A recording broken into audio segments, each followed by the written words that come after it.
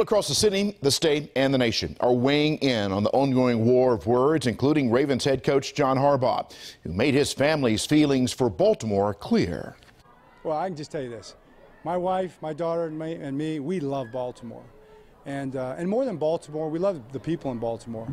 Um, I mean, we love the people in Baltimore everywhere. And I, maybe it's because the Baltimore people love the Ravens so much, but we felt nothing but love here for the last 11 years. Harbaugh went on to say he wishes politicians on both sides of the aisle would work together. If they did, they would get so much more done.